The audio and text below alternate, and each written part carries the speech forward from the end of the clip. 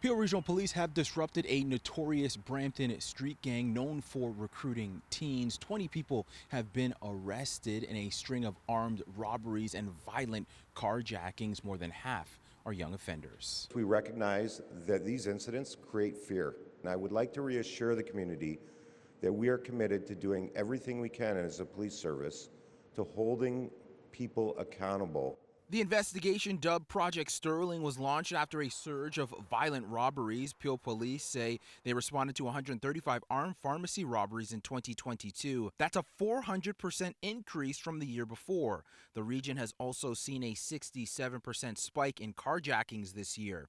Project Sterling has led to more than 100 charges being laid and solved 20 investigations in the process. This particular street gang, since 2019, has been responsible for a total of 333 criminal charges, 104 robberies, seven attempt murders, 47 firearms and weapons charges, in addition to 25 bail charges and 41 stolen auto and stolen property incidents. Police seized two guns and two imitation firearms, as well as six stolen vehicles worth more than $100,000.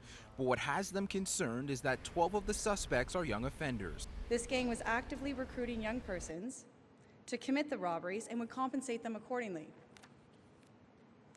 Participation in the robberies was also accomplished through intimidation, threats, and other means. Police told City News that the stolen vehicles were intended to be sold or used in other crimes. In fact, one of the suspects allegedly stole a vehicle that was used in a drive-by shooting at Weston Collegiate Institute in Toronto. The type of terrifying carjackings we've seen in our community is not acceptable.